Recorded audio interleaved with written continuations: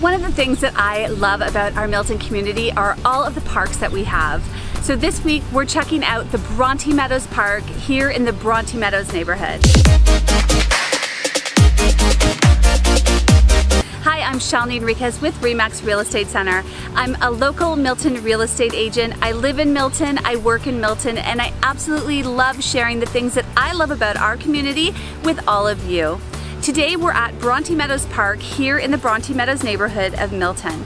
This is one of my favorite parks. Bronte Meadows Park has a soccer field, there's a baseball diamond, basketball courts, tennis courts, there's a playground, and there's even a splash pad.